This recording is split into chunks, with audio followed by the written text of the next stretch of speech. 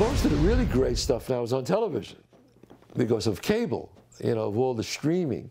You're able to do and say things that you couldn't do, uh, you know, on television before, ever, because it was three networks, you know, two sometimes, you know, two, four, seven. That's it. And you couldn't, you know, you, had, you couldn't be risque, you know. Now you can do these incredible, like, you know, 10 episode things that arcs could say anything, do anything. So uh, television, I mean, look, movies will always be movies, and they're still great movies. I saw Green Book, I th thought it was a great movie, and it won Best Picture of the Year, and um, you know what? And it deserved it. But there was a lot of great movies. Black Klansman was a great movie. Uh, you know, Black Panther was a great movie. You know, uh, there were some really wonderful movies. The Favorite I really liked. Um, I, Glenn Close, the wife, she was incredible.